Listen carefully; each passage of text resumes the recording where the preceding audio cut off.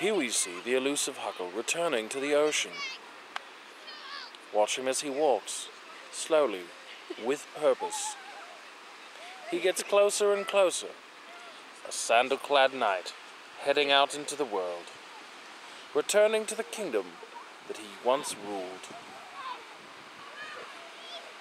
As he approaches the water, he glances about, observing the people playing in his land. He stops to take the temperature of the sand. He eats a crab.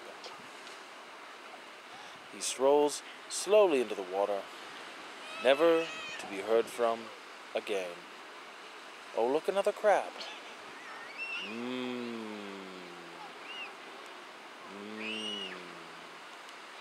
Goodbye, Huck. Goodbye and Godspeed.